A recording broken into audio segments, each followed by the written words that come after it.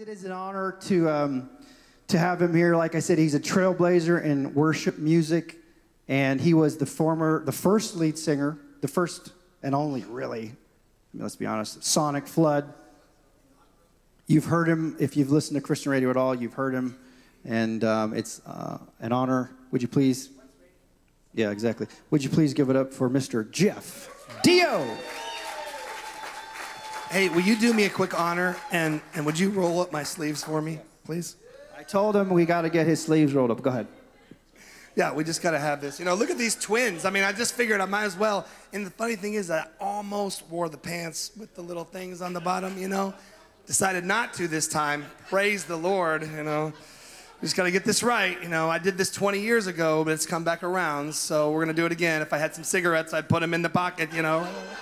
Just kidding. oh my goodness. You guys like to have fun, right? hey, a couple things, because uh, I'm not going to go to 2 o'clock today. Um, I mean, you guys can go to 2 o'clock, but I have a flight at 3, uh, so it's probably not going to happen at 2 o'clock. But uh, before I jump in to, to a couple things, I just want to share. Um, that's yours, right? You ready? Perfect. Awesome. Uh, I just want to share a couple things. I feel like the Lord was speaking to me uh, during the worship time. And I tell you what, man, you guys are in a special place. I, I think a lot of you know that already because you know, you've, you've gone, you've looked around, you've thought, you know what, there's this church, that church, whatever. But this is a special place. It really is a place. I mean, I know that the, the heart behind this, this house is to host the presence of God. You know, and sometimes those words, I, I grew up Baptist, so I, I didn't even know what that meant. Like, ooh, the presence, you know, I'm like, hey, it's just fellowship. We're going to talk about that a little bit. But you are in a special place where you can linger. Somebody say linger right? We got to linger in the presence of God. We kind of have this cookie cutter, like a microwave society worship stuff going on in so many of our churches. I had a, a pastor one time uh, say to me, I, I, was a little frustrated with him because I think we had a 12 minute worship set. And uh, I was just like, you know, I, I, don't, I, don't, I don't know if, if, if that's going to work. You know, and he said, well, God can do anything in any amount of time. And I said, Well, that's true, but we're talking about people, right? People have a hard time letting go in 12 minutes. They walk in with baggage and all kinds of stuff, and in 12 minutes, it's not even worth it to try to unpack. You know what I'm saying? Like I didn't unpack this weekend. I mean, I did. I hung up a few things in the hotel, you know, but I've been here for three days. it wasn't worth it to fully unpack, you know. So people come into a 12-minute worship service, they're not going to unpack. They're going to stay packed. So you have a place here where can, people can come in and just unpack. Maybe that means this is home. You know, this is family, right? Your family. So you, you stay unpacked. We're not here for a performance or a show, right? So, along that, since I just said that word performance, I, I want to share this. Um, Sadie, you're in here, aren't you, somewhere? Where'd you go? I thought I saw you right here, but okay, in the back. All right, all right. See, all the way in the back, of course, I would find you in the back. Um, and I, I want to say this over the entire worship team, but I did feel like that just the Lord wants to encourage you this morning, Sadie. Um, there's this thing. I don't know if everybody understands this, but I think probably in Vegas we do better than, we understand this better than some. That there's this, this wrestling with performance that people have because we're so, um, you know, we're so against, and for good reason, the idea of like, look at me, look at me, look at me, you know, because we've seen a lot of that. This is what happens a lot of times, right? We've seen the world perform in ways that makes us want to vomit. You know, we've seen us like, look at me, I'm great. And you go, man, dude, you couldn't even breathe if God didn't give you breath. What made you think that because you can play the guitar well, that you're all that and a bag of chips? You know what I'm saying? I mean, it's God who gives you the ability to move your fingers, let alone think, right? Okay? So, but what happens sometimes and I know you feel this, Sadie, we, we get so adverse to performance that we kind of swing the pendulum to the other direction, the other side. We do this really well in the church. You know, you see a bad example of dancing, and then there everybody comes along and goes, oh, dancing is of the devil, you know. But God made dancing to give him glory. Right? We take it, we take it and we pervert it, and then the church throws it out. But we don't want to do that, right? We just want to redefine these things, right? I, I like to say this because we have, you know, at North Central University where I teach, we actually have a performance degree. Now, if performance is bad, then we better get rid of that degree. There's all kinds of performances that we go to. Now, I want to say it this way that, perf- that good performance is good and bad performance is bad. Does that make sense, right? Like we, we want to take and label something like performance, and I, and I get it, you know, like we've seen so much bad. But I want to say this, Sadie, I just want to say the Lord sees your heart. He knows, and He's not nervous about you performing. We're not nervous about you performing. Um, I, I, think He wants, uh, he, He's put such a boldness in you and such a powerful strength of His Spirit in you. And He's calling you even to open your eyes as you lead worship. We're so, you know, I, I, I get it. Trust me, I get it but we're so worried and we want to stay focused on the Father. But our role as worship leaders is, is to serve the people too, right? Yes, our first role is to worship God. So he just he just sees your heart and you are genuine and you are authentic. And I don't know if you ever worry about performing or like I don't want to I don't want it to be about me, that type of thing. It's not about you. We know it's not about you. The Lord sees that and he is pleased with your worship leadership leadership, and He's calling you up and out in the name of Jesus. And I just speak that over the entire worship team just to say, hey, joy coming out. Come on. Come on. I mean, I know probably all of us have played in bands before, you know, maybe some bands that we weren't proud of, maybe some bands we were proud of. I don't know. But this worship team is, is anointed, right? They're playing by the Spirit, in the Spirit. And so I just want to encourage you guys. The Lord's, it, it, don't worry about that performance thing because we see it. You're not performing. You are performing for the King, but you're leading us. It's like a it's like a triumphal entry, just like David was bringing the people uh, when, when they got the ark back, right? The presence of God, and David is leading that procession, and he's dancing and he's singing and he's celebrating. You know, he didn't go hide in the back because he was afraid. No, he's calling you guys. It's okay. Step up, step out, be bold, and, and let the Lord do what he wants to do. Amen. Amen. All right. I also want to just speak over this family. I'm not, I'm not going to bring you guys up here and like parade you in front of everybody, but I, I want to, what? Like, oh, it's okay. Sometimes it's good, sometimes it's not. So, but I just want to talk to you guys. Um, I, I, was up here worshiping, and uh, can we put a picture of my family up there too? I think I've got a picture of my family, and I was thinking about my family. And, and there's a thing there's four four kids, kind of got the opposite thing, three boys and a girl, you know.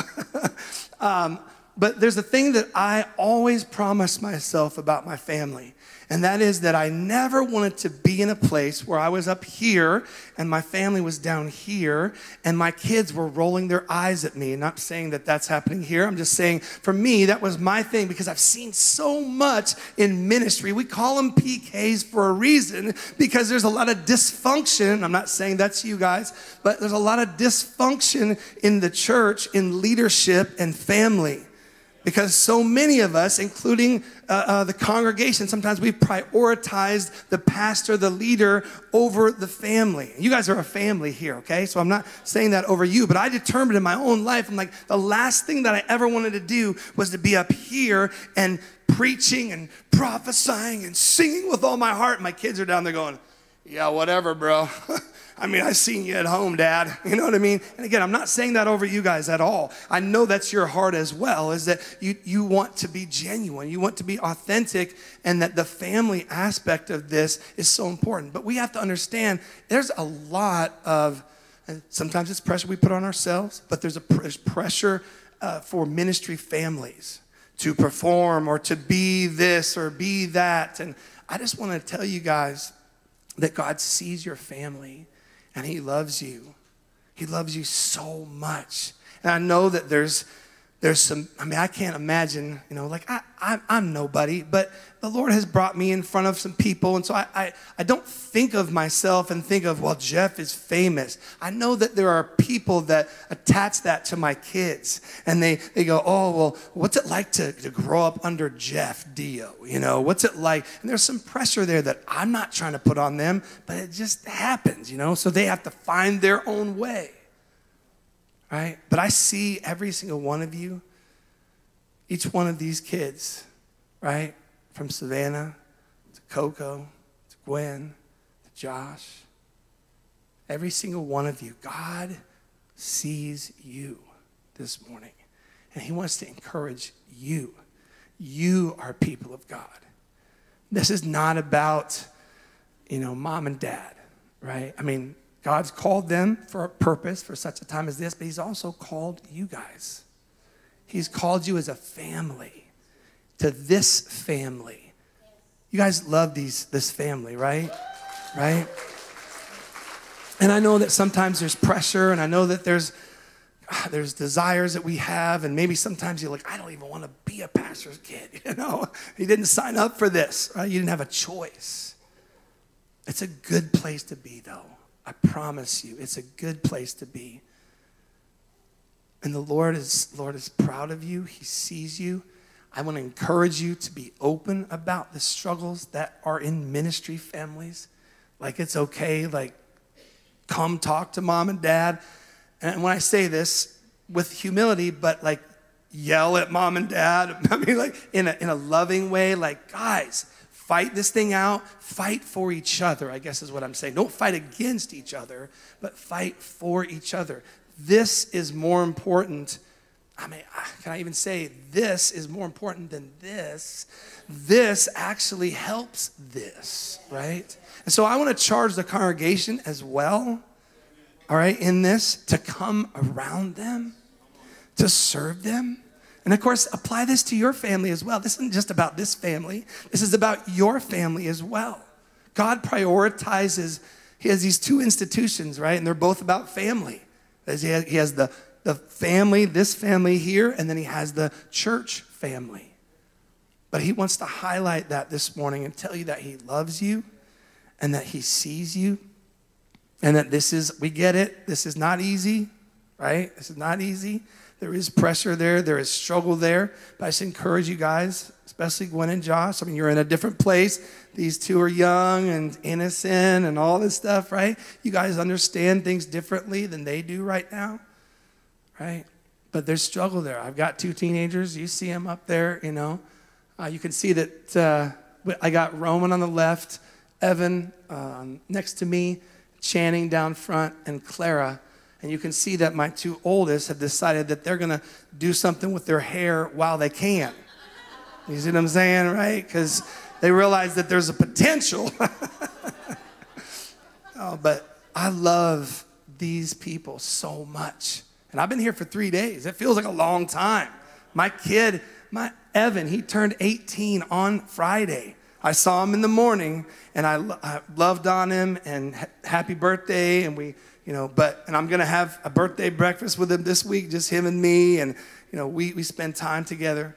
But it, it's a big deal to come and leave my kid on his 18th birthday, you know, and come out here and pour into this congregation. But I just wanna take that love that, that I have for my family and give that to you as well this morning to receive, and, and that you would be encouraged as a family, okay?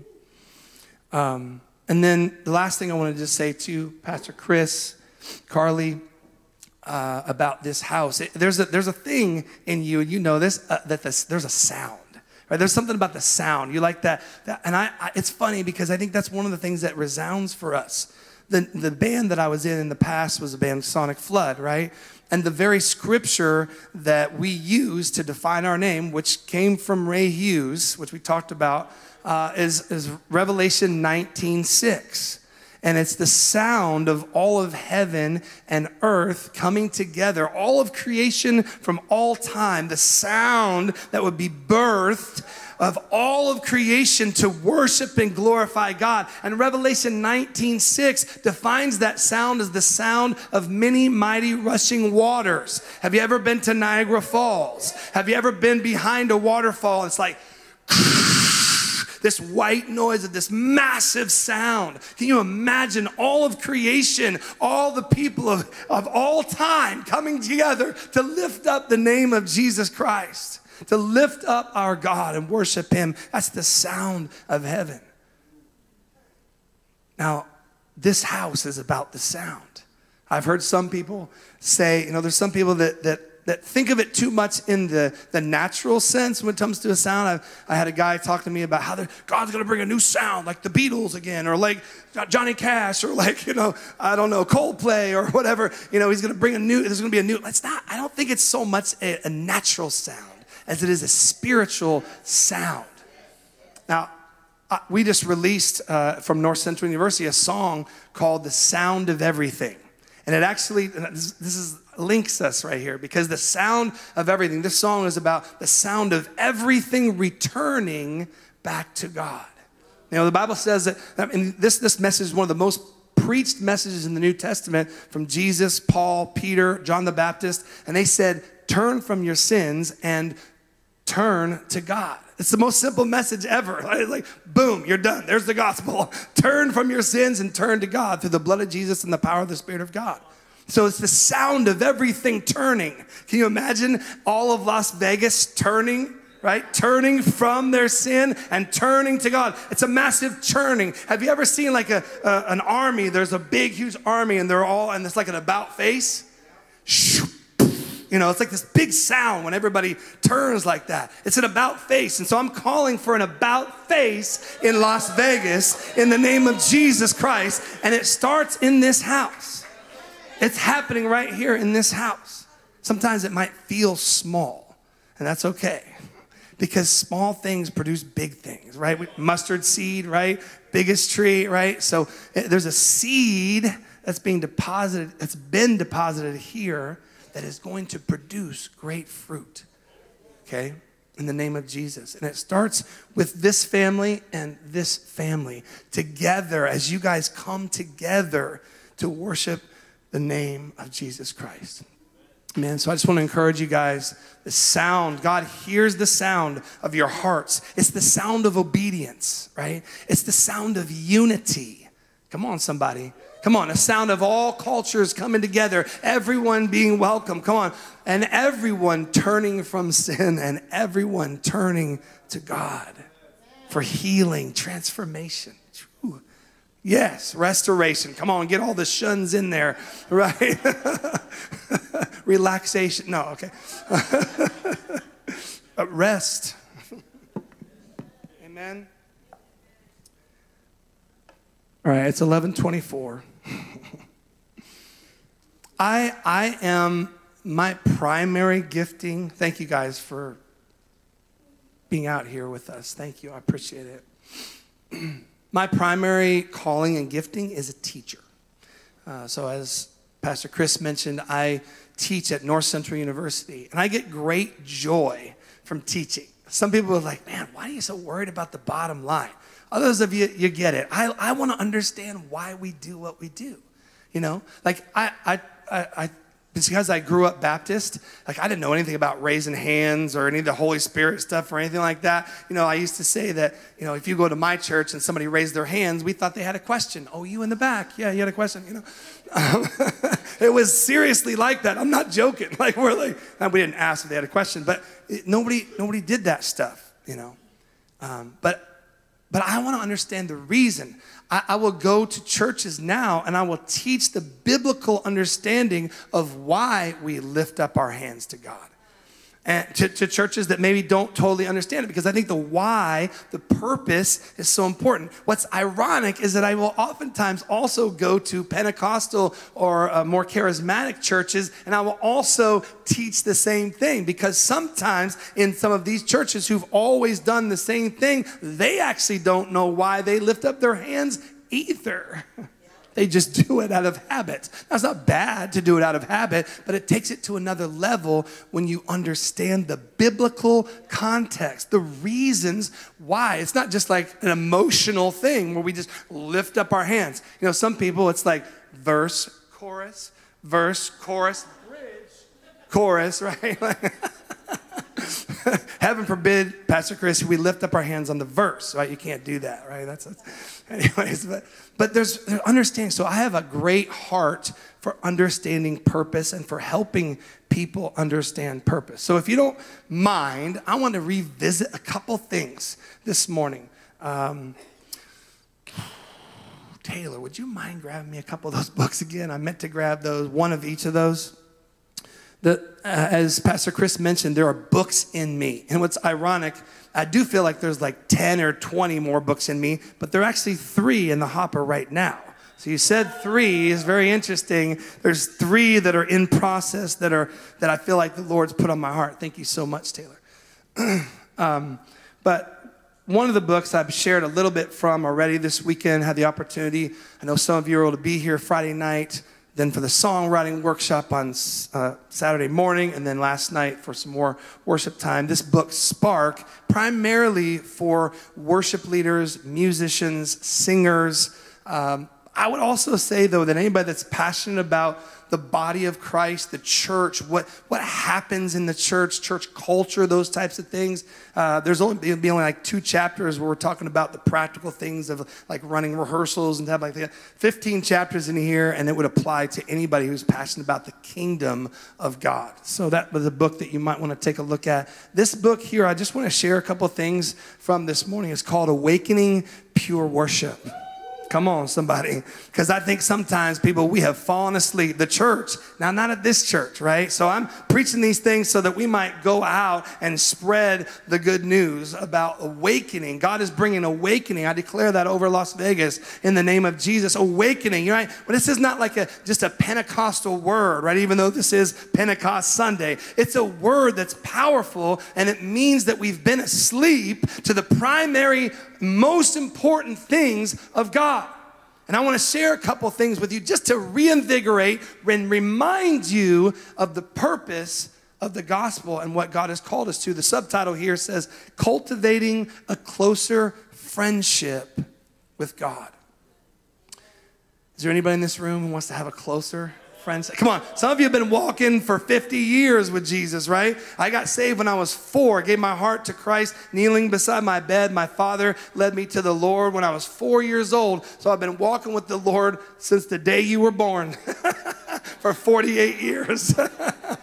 I'm 52, all right? So, but this this is my heart. I didn't understand these things growing up. I thought we just went to church, clocked in and clocked out and did our our religious thing, you know, but he's called me to fellowship with him. He's called me to friendship. There's this invitation. It's insane that he would well, he's not insane, right? But he it's to us our understanding of what he's called us to. It's unbelievable that God would invite us into relationship with Him.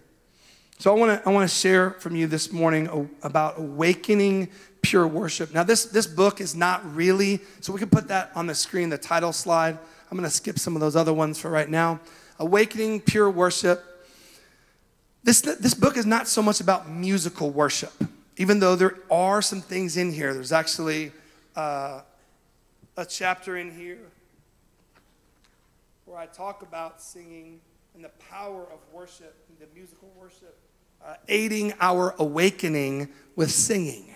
Aiding our awakening with singing. But this, most of this book is about fellowship and relationship. And I know people get it. They're like, man, Jeff, I know it's not, it's not about religion, it's about relationship. I'm like, yes, I know, but so many times it feels like in church that we have a greater relationship with religious activities and the, the, the coming to church than we do with the Father Himself right? And so God just wants to remind. Uh, some, sometimes, you know, speakers bring revelation, something that you've never heard before. I don't know that there's going to be a ton of that this morning, but I do think that some of the reminding will be a revelation for you this morning of what God has called us to. Take this quote from A.W. Tozer. It says, We are called to an everlasting preoccupation with God. I like this bottom line stuff. What are we called to, you might ask? Well, this is one of the things. Oh, it's not there. We've got this quote, I think. Do we have the slides? Give me a thumbs up if we do. It's like maybe the, uh, you got the main title slide. This, there's the scripture. We're going to come to that in a second. I know we got this A.W. Tozer quote. That's the title slide. Praise God. There we go. Awesome. Woo! Thank you so much. You guys rock. All right, so this quote, right? We are called. What are we called to, Jeff? Well, there's a lot of things, right? But one of the things, I love the way that A.W. Tozer puts this we are called to an everlasting or an eternal preoccupation with God. I love people that, that love words. I, I like words because they mean things very specifically, and it's important. I love to write songs and books and, and all these things, right? I love the way that A.W. Tozer twists this word on us, preoccupation, right? Because normally we think of this in the negative. Like I was sitting there and I was so preoccupied with what we were going to do for lunch, I didn't hear a thing that Jeff Deyo said. You see what I'm saying, right? Right? You're so preoccupied with that that I forgot about this. Well, imagine with me, if you will, if you were so preoccupied with God that you forgot to worry. I mean, Pastor Chris, I meant to worry. I was gonna worry. I had good reason to worry, but I was so preoccupied with God that I forgot. Totally spaced it. Totally spaced it. You see, some of us are so preoccupied with worship, with worry, that we're not looking at God.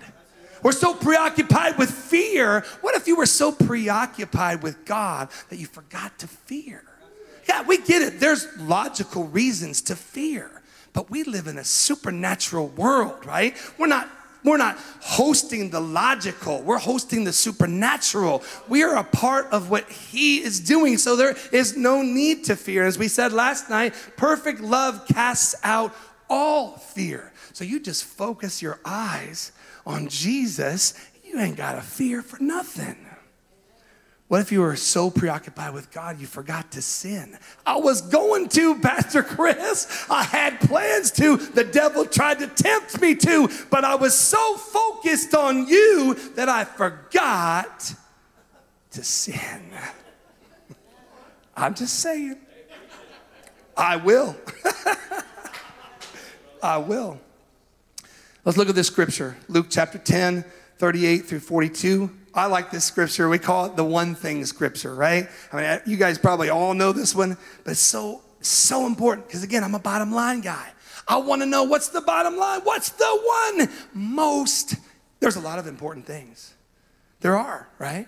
But if you were to say, what's the one most important thing? Let's see what Jesus says.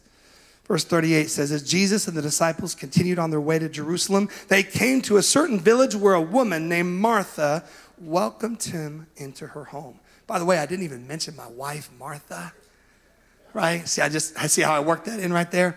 We just celebrated May 23rd, 30 years of marriage. Come on, somebody. That's my girlfriend right there. I always call her my girlfriend. I got a date with my girlfriend when I get home. Anyways, um, just saying. Sorry, I got distracted there. There was, a, there was a woman named Martha who welcomed him into her home. Her sister Mary sat at the Lord's feet, listening to what he taught. But Martha was preoccupied. Wait, it says distracted, doesn't it? Martha, maybe we could, I'm not trying to change the scripture, but you, you follow me, right?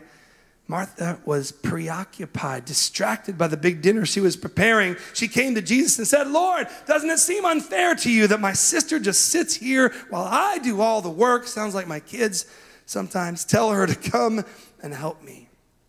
But the Lord said to her, My dear Martha, you are worried and upset, preoccupied over all these details.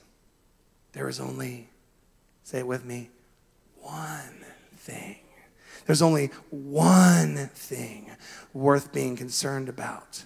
Martha has discovered it and it will not be taken from her. Now, we know that it's not wrong to fix a meal for somebody, okay? Somebody understand, right? The Bible is not condemning work here, telling us that we shouldn't do any of this stuff, right? We know that even Paul said if you don't work, you shouldn't eat, all right, right? So that work is important, but if you had to pick one thing, just one. If you could only pick one thing, it would be to sit at the feet of Jesus, to fellowship with the Father.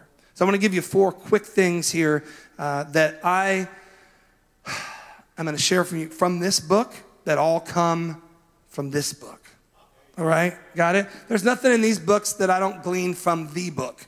All right, but it just helps you process some of what is being said in God's book. Number one, God places before us an unimaginable invitation.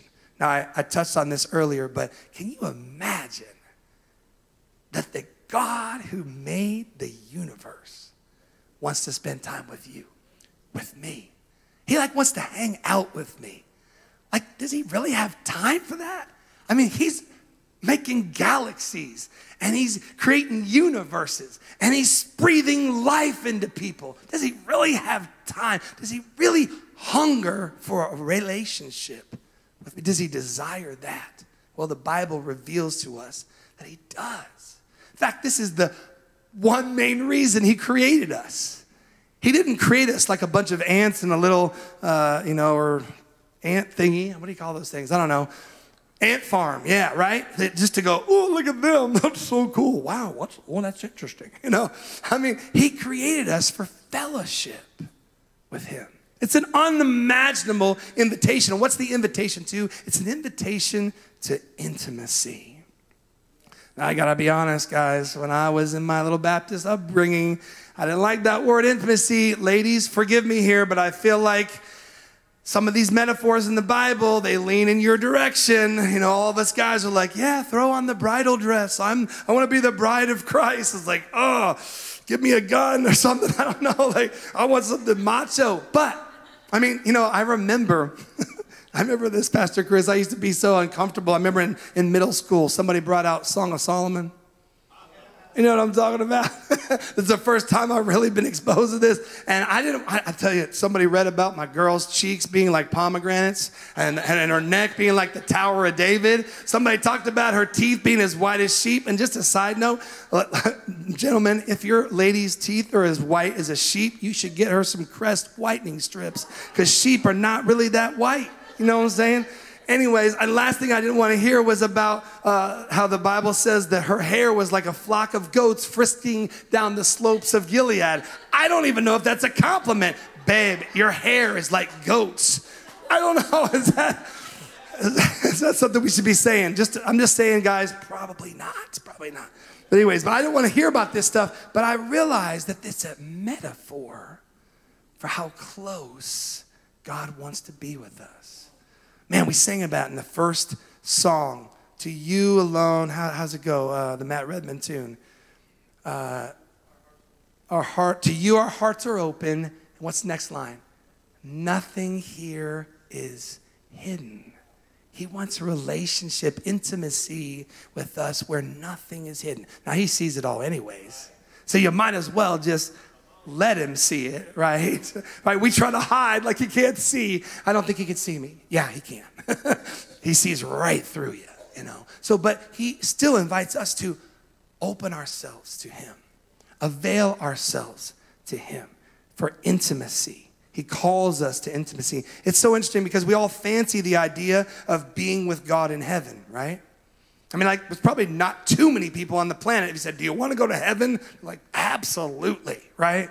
We all fancy the idea of being with God in heaven, but so few of us demonstrate this desire by making the decision to walk closely with Him in everyday life. We want to be in heaven, have fellowship with Him there, but we don't demonstrate it by seeking fellowship with Him on the earth. Bob Sorge says it this way Do you want to be near God in the age to come? Demonstrate it by living close now. Right? Why wait till then? I don't know if we can actually, because that's the whole purpose is to live close with God now so that we might also live close with Him in eternity. So, number one is God has places before us an unimaginable invitation. Number two, the cross is a beginning, not an end. Now, I think most of you guys get this, okay? But as you share the gospel, I need you to remind people that the cross is not the end, it's a beginning. Okay, and what do I mean by that? Well, I mean that forgiveness is not the end goal. There's a whole world out there that believes that forgiveness is the beginning and the end. Like, shoo, I just need the blood of Jesus to forgive me of my sins, and then it's done and done, and I go to heaven. But that's not even the point. Let, let, let me just say it to you this way and, and don't throw anything, okay? Pastor Chris knows I like to stir up things a little bit, all right? Is that okay? I'm gonna stir it up a little bit because I gotta get us thinking a little bit, all right? Because it's important that we worship God with all of our heart, our soul, our mind, right? So the intellectual part is really important too heart, soul, mind, and strength. What if I said this? Jesus didn't die for your sins. People like, uh, Pastor Chris, who'd you bring this guy in for? What? Just, just stay with me. Purpose here, right? What's purpose? What's the ultimate purpose? Jesus didn't die for your sins. He died to reconcile you to the Father, and your sins were just standing in the way. See, the purpose is not to get rid of your sins. The purpose was to reconcile you to the Father, right? It's, first, it's 2 Corinthians 5, verse 18. Reconciliation is the goal. He's given us, in fact, the ministry of reconciliation, which is to share the gospel. And the gospel is not that you are forgiven of your sins, is that you are forgiven of your sins so that you can be reconciled to God through the blood of Jesus and the power of the Spirit of God here, even on Pentecost Sunday, right? I mean, you think, well, can you give me a little more scripture for that? Yes, I can. I was, I was literally writing the book. I'm like, Lord, help me with this because it feels a little bit like people are going to get freaked out if I say forgiveness is not what it's all about. but what if we looked at John 14, 6? You guys know this verse, right? It's like one of the most popular verses out there, besides John 3, 16. John 14, 6. I bet you can quote it with me if I start it. Jesus said, I am the way, the truth, and the life. No one comes to the Father except through me or but through me, right? Now, what if I was to tell you something crazy like that verse is not about Jesus? You're like, what? Everybody go, what? There you go. Good, good, good. Right? What if I was to tell you that that verse is not actually about Jesus? Like, Jeff, if there's any verse in the Bible that's about Jesus, it's John 14, 6, because it says, I am the way, the truth, and the life. But what's the point of that verse? What about the back half of it? What does it say? No one comes to the Father but through me. So the point of life is to come to, because he made a way. What did he make a way for? If Jesus is the way, what's he the way to? That verse tells us the way to the Father. Come on, somebody. He's the way to the Father. He's the truth about reconciliation with the Father. Come on. He's the life, which is life in the Father, the Son, and the Holy Ghost, all three together in one. Some people, Pastor Chris, some people, uh, you know, Jesus reveals himself in different metaphorical ways as well. He calls himself the gate or the door. Okay, so what's the door? What's he the door to? Is he the door to forgiveness?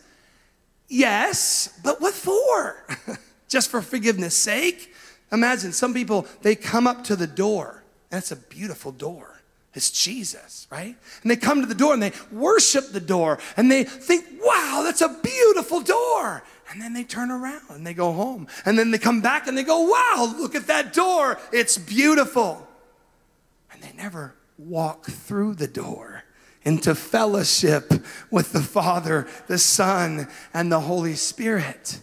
Come on, somebody. Like, the door was not there before, there was a wall there.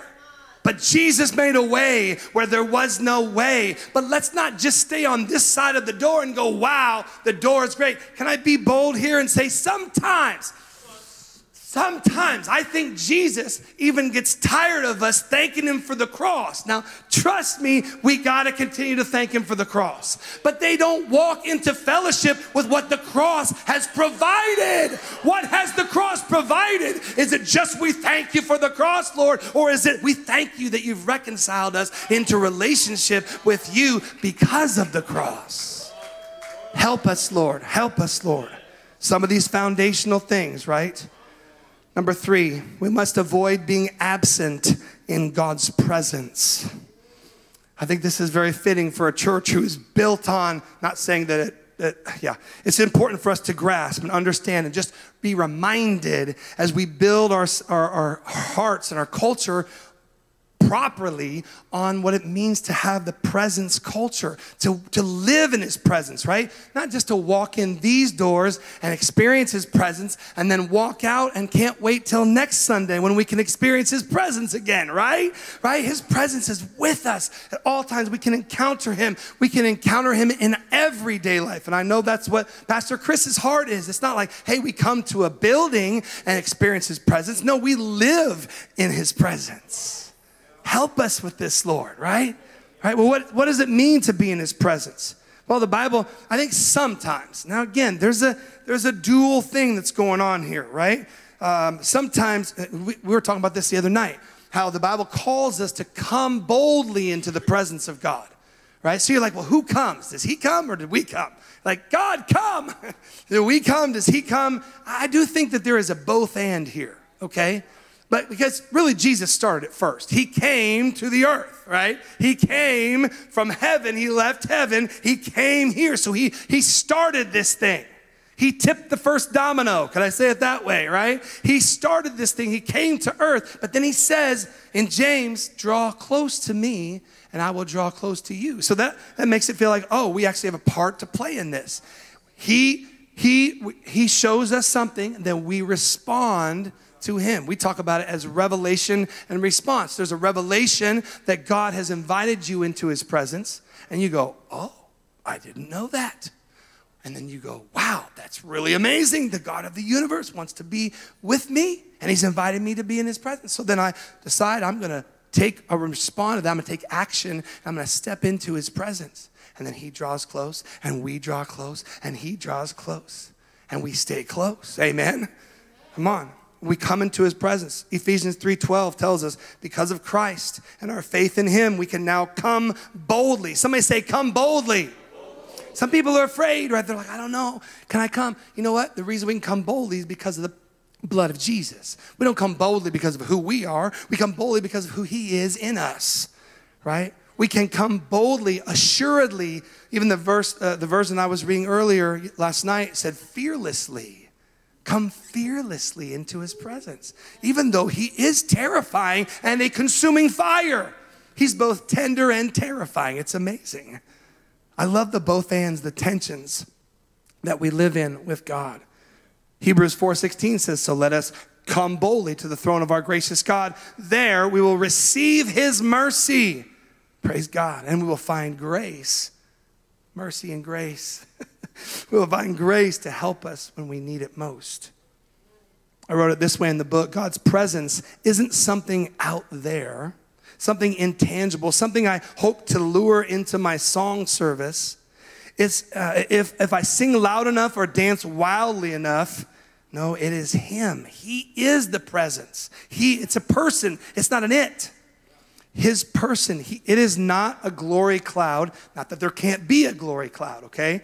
Right? But he wasn't the glory cloud. He was surrounded by a glory cloud, and that's different. He's a person. He's a person of God, right? It's not a glory cloud or a fierce emotion or even an it. He is it. It is him that I see, God himself. And sometimes we, you know, we have songs that I know you, you, Pastor Chris, you wrestle with some of these song lyrics. I do too sometimes. Because I feel like, oh, it's emphasizing one side of God's presence. We have the omnipresence of God, which is what I grew up understanding. And then there's the manifest presence of God, and it's a both and, right? He's with us at all times, but the Bible also said that he moved into the temple and he sadly also moved out of the temple, right? So God can manifest, show himself, and he can also withdraw himself in a sense that it seems like he's not there. Have you ever been there and you thought to yourself, God, it feels like you're not here? And I was taught by a mentor of mine to say, Look, God, it feels like you're not here, but I know that you are. I know you're with me because the Bible declares, and you can't go against your own word, that you'll never leave me nor forsake me, right? So his presence is with us. But sometimes in our songs, we talk about his presence like it's an it, right? We got, a, we got this song, uh, which I actually love this song. So I'm not picking on this song, but it's called I Will Exalt. It says, Your presence is all I need. It's all I want. It's all I seek. And without it, without it, there's no meaning. I would love to say, and without you, without you, there's no meaning. You know, because really, again, I don't think it's wrong. It just sometimes emphasizes uh, the wrong aspect of him as a person. He's not an it, he's a person, right? And, and we have to understand these things in our own relationships, right? We have a, we have a crisis of being with each other, right? We go on a date, we sit in front of a screen, and we call that fellowship. I mean, I'm not, I love movies, I mean, trust me, but, but, or we sit at the restaurant and we scroll. Just because we're in our physical presence doesn't mean we're in a relational, relational presence. You can come to a church building and be in the physical presence of other people who are singing about God, but you never encountered God for yourself. You didn't enter into relational presence with God. Maybe you had a, uh, you had a relations, relational encounter with a song that you enjoyed, and that's great, but it's not the same as having a, relational encounter with the God of heaven. You can have a relational encounter with, like, wow, I love the band. They're awesome, and they are, but that's not the same as having an encounter with God. His presence is different than our presence, right? He wants to invite you into His presence, to live in His presence.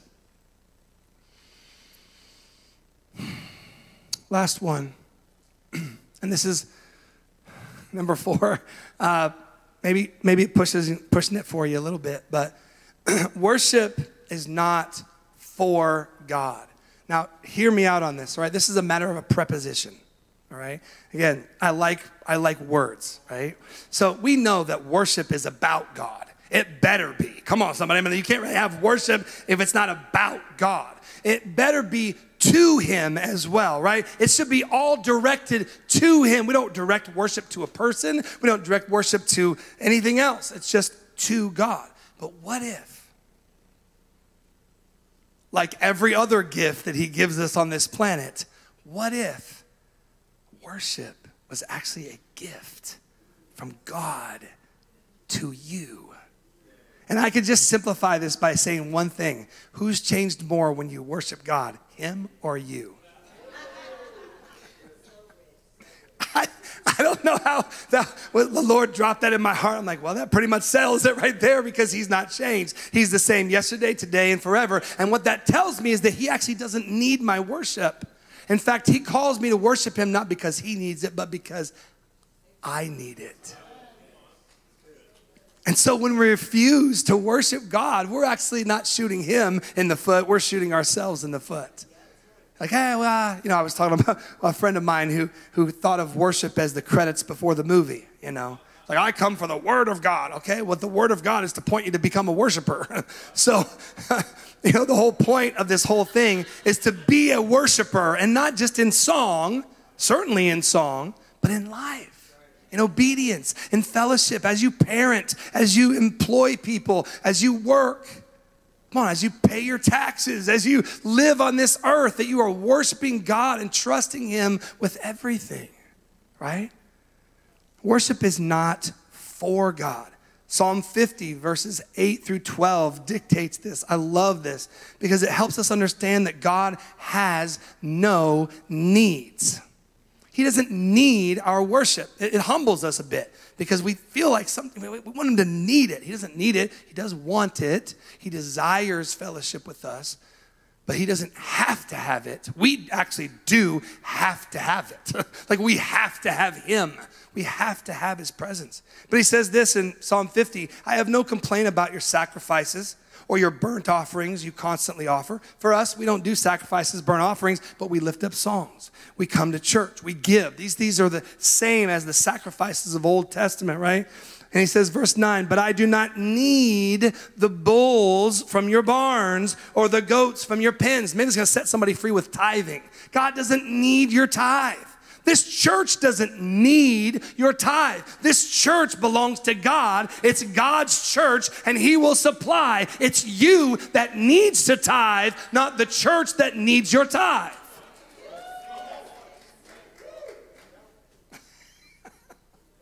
I expect double offering next time we take an offering. Oh, yeah, it's coming up soon. Um, for this house. But you know what I'm saying? That makes sense. Like, God doesn't need, get over that thing. Well, The, yes, because people have abused the giving. You know, they've called you to give in ways that are not godly and to build up their own ministries and all that stuff. But giving is for you. Giving is for you. Developing a spirit of gratitude. It's not like, well, God needs me to keep the lights on in the church. I mean, yes, we do pay the light bill with the tithe, but that, and that's how it works. Like that's that's the whole point. If every person in the church would tithe a little bit, hey, guess what? We could do great things together. This is not the Richie's church.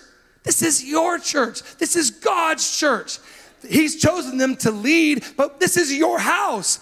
It's your responsibility to do great things together in this place. And how are you going to do that if nobody chips in? That's so dumb, right? Come on, somebody. Tithing is for you, worship is for you. My friend, when he, when he realized that, he's like, Jeff, I'm gonna stop showing up late for church. He said, I realized I was depriving myself of something that God, it's, a, it's an inherent need for nourishment for my soul that I would worship and exalt my God. You're like, but Jeff, I'm not a singer. I don't care. The Bible doesn't call you to be a great singer, it calls you to make a joyful Come on, somebody, make a noise for God. Make a noise. I don't care if it's in pitch. I don't care if it's perfect. I don't care if you got the words right. Just make a noise. Make a sound. The sound of heaven coming out of this place. Come on, God has called you into relationship with Him. It's crazy what He's called us to. God, would you help us? Would you help us, Father? You know, today all we're trying to do is we're trying to get right to the heart of what God has done for us, what He's called us into. He wants to change us, He wants to lead us, He wants to guide us. As I come here to, toward the end here, can I ask the band to come, or maybe just maybe just keys, maybe just keys. That'd be fine, okay? Yeah, yeah. Thank you so much. And what, what if, I just want to put this what if slide up there. What if, you know, I, I, sometimes I feel like a car salesman when I, when I get to this part. Because every sermon, the, the preacher thinks that they have the number one message, the most important thing, and they should. They should feel that way. Like, if they weren't passionate about it, they shouldn't preach it, right? But I'm like, man, I feel like this is the one thing I mean, I read it right from the scripture. There's one most important thing. If you didn't get anything else out of your whole life with God, it would be that He called you to intimate fellowship, to friendship with Him. That's why He's made you. He didn't make you for ministry. In fact, ministry didn't even exist until after the fall. He's trying to get us back not to do ministry. He's trying to get us back to where we were at the beginning, walking and talking with God. That's the goal. And the only reason we have ministry is because we're trying to help other people get back to walking and talking with God. Everyday life, you're like, man, why is this so simple? It's way too simple. Like we make it too hard, don't we? It's not really that hard. He called us to live with Him. This world is fading away. We have two purposes on this earth. It's our family mantra in my house. Every day when my kids leave for school, I say two things, and they say, Love God love people. That's the only reason for your existence on this planet is to love God and to love people. And you do that through your work. You do that through your everyday activities, right? You're loving God. If it's helping, following what God's called you to do, that's loving God. And if you're, you're doing it for to help people, then it's loving people, right? But we process everything through that. What if the thing that is keeping you from that peace that you are longing for, is that you're not fellowshipping with God. It, it blows my mind. It blows my mind that people are longing for peace. I mean, have you met anybody in this world right now that's looking for peace? Come on, I mean, COVID, all this stuff that's going on, the unrest in our hearts, people are searching, lost, dying for peace, but they don't get the simplicity of it all. And that if you would just fellowship with the Prince of Peace, you will receive his peace. It's so simple. He's calling us. In fact, if there's any message I could get across to you today, He's calling you into deeper fellowship with Him, which means more time alone with God for you. We're like, God, I don't have time for you. It's so crazy to me. We say, to God, I'm so busy. I don't, I don't have time for the God who made time. But the one thing He's called us to is to spend time with Him. And some people would say, well, you know, Jeff, I've had a revelation that, that I, I, just spend time with God all day long. I don't need to have like a specific time alone with Him every day. I'm like, okay, let's see here, uh, Pastor Chris, how would that fly with Carly? Um, if you came to her and said, You know, I've got this revelation. I kind of spend all day with you every day. We don't need to do date nights anymore. We don't need to do vacations anymore, you know, because we're together all the time. Come on, guys, it's a both and. It's not one or the other. Imagine if we said, You know what, we're just going to do date nights and not do anything else. That's not marriage, that's dating, right? God's called us into marriage with Him right? He's the groom, we're the bride. He's called us to fellowship with Him, and it's a both and. He wants to spend more time with you individually by yourself. How else can I say it? Um, just you and Him alone with no distractions, with no devices. Come on, somebody, He wants to spend time with you. And you're like, gosh, I got so much going on, Jeff. I'm telling you, man. You want healing in your life? Rub shoulders with the healer. A lot of people are seeking healing and they haven't sought the healer. Come on, somebody. When people, people are seeking peace, they're not hanging out with the Prince of Peace. I mean, they're seeking provision, but they're not hanging out with the provider. I mean, I don't know. It's so simple. But can I just put it to you this way? And some of you guys, you're already doing this. Every day you have time alone with God. This is one of the callings of my life is to spend time alone with God every day. And I want to continue to increase in that. But let me just throw it out to you real practically. If you're a person who said, you know what, I really haven't made time for that on a consistent basis. I, I run into leaders, Pastor Chris, in the church who say, yeah, I have time with God kind of like once a month.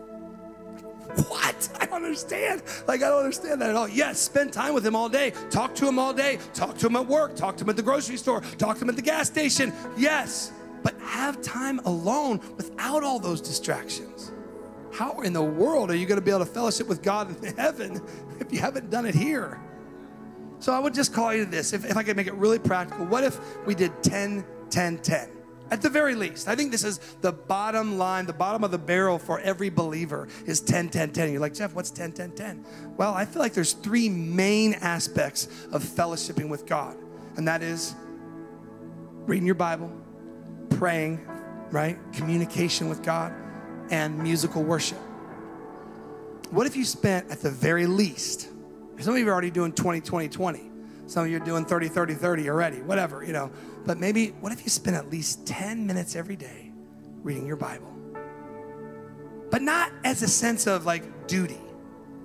Like the Lord dropped this in my heart. He said, Jeff, you don't, you don't read the Word of God so that you can know the Word of God. What? you read the Word of God so you can know the God of the Word. There's a big difference. You could memorize the entire Bible and still go to hell. Like, what? Now, I think it'd be unlikely because hopefully there'd be a revelation there. But who else knew the Bible? The Pharisees knew the Bible. The devil knows the Bible. He even quoted it to Jesus when he was tempting him. Just because you know the Bible doesn't mean you're going to heaven. Just because you know the Bible doesn't mean you have a relationship with God or a fellowship with God. You don't read the Word of God to know the Word of God. You read the Word of God to know the God of the Word. Oh, God, help us know. Yes, the living Word, because the, the Word is alive right? It's alive. So you spend time in His Word, but you see it as a portal to fellowship with God. I want to know His character. How are you going to know the voice of God? Oh, I want to hear the voice of God. I never hear the voice of God. I used to get mad at people that get up and say, Well, God said, da da da da. I'd be like, Did God really say that? Or are you just trying to be evangelistic or something? You know, you like, no, they, he actually did. And I use that language now. The Lord told me, and these are impressions, these are things, sometimes I hear it specifically in my heart, in my mind. But how do you learn the voice of God? You read the Word of God because you have to learn His voice. You have to learn how He speaks so that when the lies come, you go, no, no, no, no, no, no, no, no, no, no. I know how, how my God talks. He doesn't talk that way, so that's a lie from the pit of hell. See? Because I know the voice of God through His Word, now I can hear the voice and discern the voice of God through His Spirit. we got to spend time in His Word, got to spend time in prayer. Come on, prayers, communication. It's also listening. Come on, somebody needs to listen in their prayers and stop listing off all the, the, the wants, right? Can I ask you this? Can you please, can we just stop starting our prayers with requests? I know we're supposed to present our requests to God, right? We are supposed to do that. But can we just come to Him as Father? Right? It's the difference between seeking His hands and seeking His face, right? We know, we understand that in this house, I'm sure. Seeking His hands is, hey, what can you do for me? And we do need Him to do stuff for us. And He has those wonderful things for us. But you know why? Because of who He is. Because of who He is, He's done great things. So we seek his face. And then in musical worship, we, we springboard to God through music, music. God's created music for a purpose. It's a tool. It's not the thing to be worshiped. It's not in and of itself something to be worshiped, but it's a tool to help us engage with his presence. So I would encourage you 10 10 10 20, 20, 20. God's calling each one of us in this house to restore, to remind ourselves again of our ultimate purpose, and that is to fellowship with God. I mean, there's incredible benefits of all this, right? I mean, I don't want to start with this because you don't want to get into weird motives with everything. But I'm telling you, if you will spend time with God, it's just like tithe. You give, and God just gives back. He just takes care of you. You don't give to get but He just takes care of you. You know, 90% after tithe is greater than 100% before tithe. It doesn't make sense. I'm not very good at math, but it's just one of those things. It's the same thing. When you spend time with God, you're actually multiplying the time in your life. It's the most precious resource that you have is time. And where are you giving it? If it is the most precious resource we have, why are we spending so little of it on God? I've never said that before.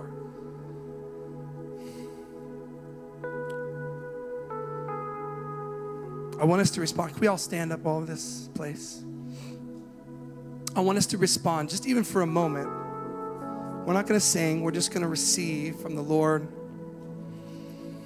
I want us to respond with the same heart that David had.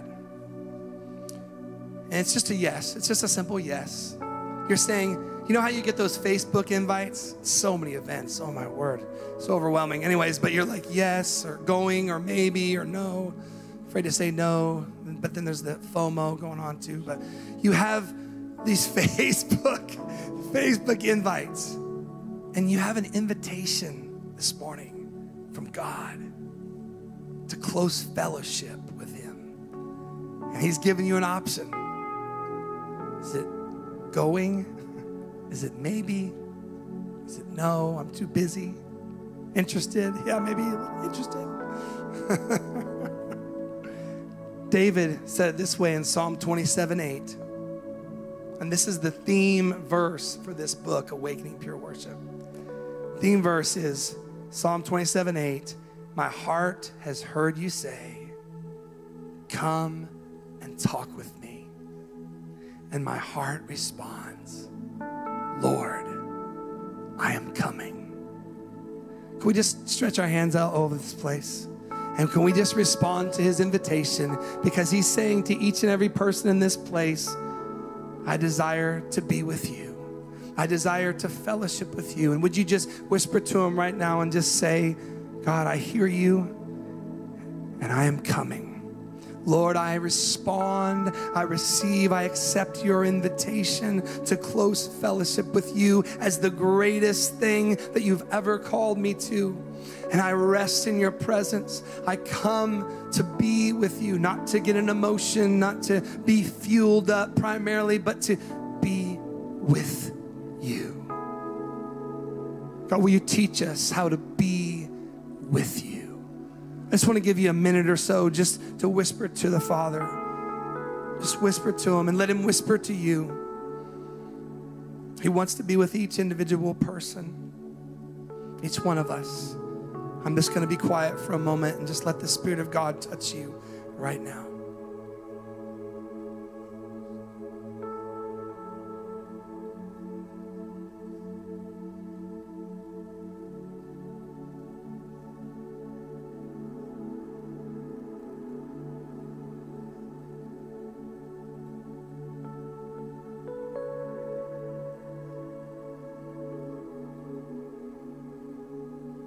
Take a deep breath in Him. And breathe out all that stress. Receive His peace right now. You're His beloved. Yes, even you men, we're His beloved. Receive His goodness. Breathe in His kindness. Be restored in your spirit right now. Be healed in your body. Be healed in your mind. Be healed in your spirit. Be healed in your emotions. He's healing those wounds right now. He's touching them in the name of Jesus. Those wounds from a long time ago, those disappointments, the pain, the betrayal. He's healing all those things right now. He's just calling you to be in His presence, live with Him, to be with Him. He loves you. Oh, how He loves you. And God, we love you. We respond to your great love. We worship you. Just tell him that. I worship you, God. I praise you, God. I thank you, God, for life. I thank you that you care about me. I thank you that you see me. Thank you that you hold me, even with all the unknowns, all the crazy things in this life. You hold me and you're with me.